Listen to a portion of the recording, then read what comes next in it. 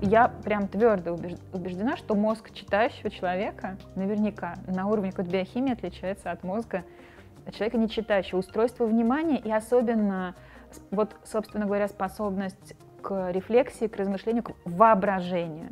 Я люблю, когда писатель оставляет читателю пространство для эмоций, не навязывая свои вот настолько. Когда вот эти все эмоции, мысли, представления. Уже просто себя писатель вытащил вместе с кишками, положил э, как бы тебе на блюдце и подал,